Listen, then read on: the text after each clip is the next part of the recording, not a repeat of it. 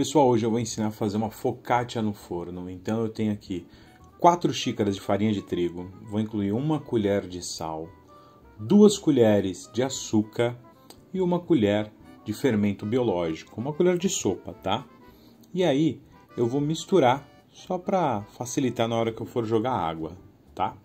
Vai entrar, cuidado para não derrubar, hein? Vai entrar duas xícaras de água em temperatura ambiente. Mistura bem.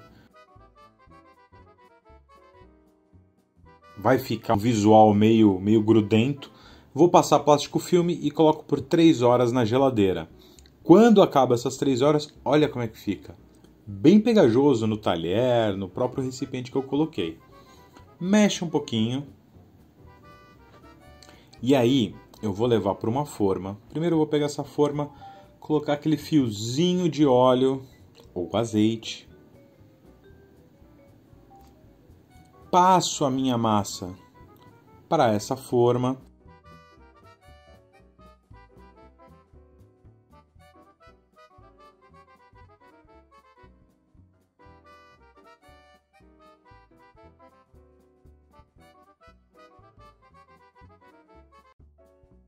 Depois que eu dei um jeitinho ali na forma, mais um fiozinho de azeite.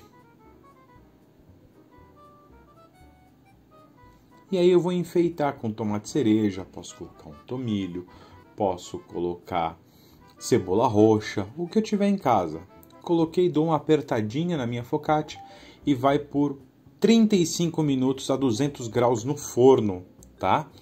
Saiu, aí eu vou jogar um sal, sal grosso, uma flor de sal. No caso aqui eu tenho meu sal de parrilha da Swift.